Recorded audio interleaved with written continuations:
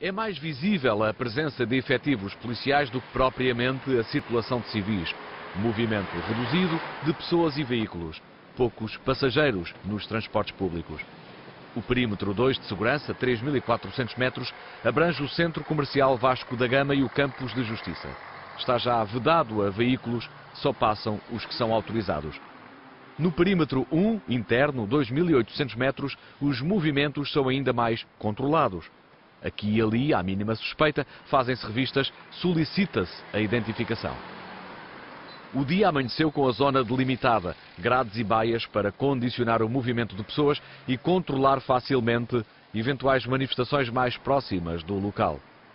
Carros parados só enquanto esperam pelo sinal verde nos semáforos. O estacionamento é proibido e os parques à superfície estão limpos. O comércio está aberto, mas com a pouca e controlada circulação de pessoas, este já é um dia mau. O mesmo espaço que há 12 anos acolheu o mundo de braços abertos, fecha-se agora para receber os senhores do mundo.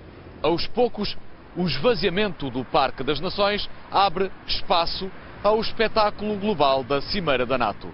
Joaquim Franco e Humberto Candeias, SIC.